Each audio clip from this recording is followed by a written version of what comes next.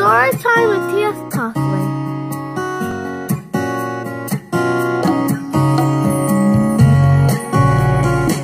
The Hare and the Tortoise.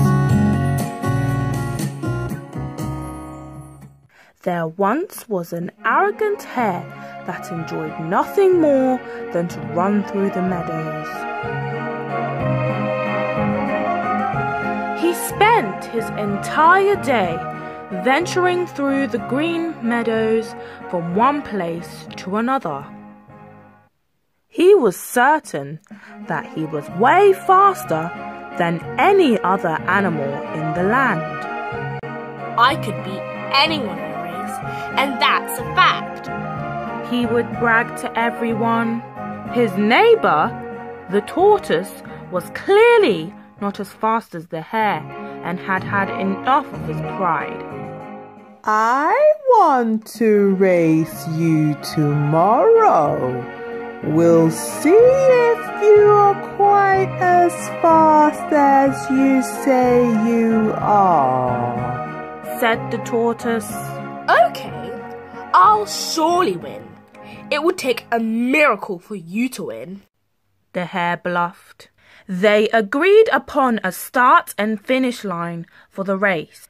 When the time came to start the race, the hare just couldn't help chuckling at the tortoise's thought of victory.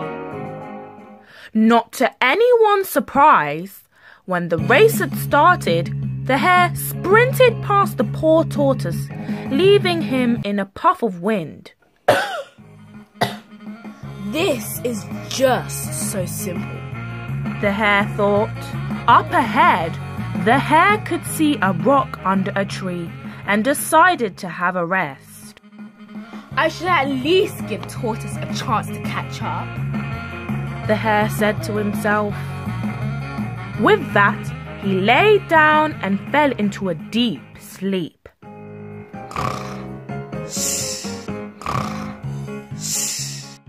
Behind, the tortoise was plodding towards the finish line. The hare didn't realize that the tortoise had now passed him and had only a few inches left from his destination.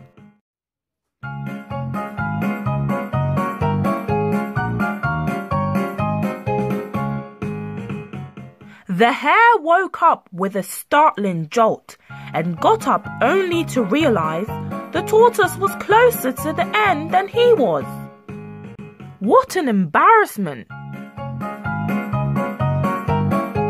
The hare hastily sprinted down the hill, and to his surprise, the tortoise had finished the race.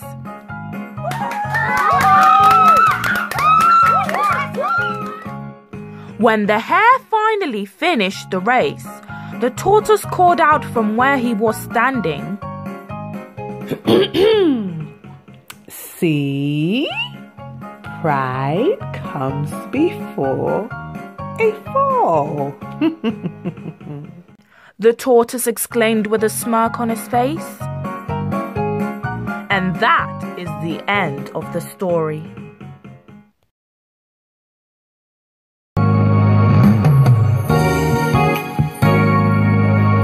Make sure you like, share, and subscribe.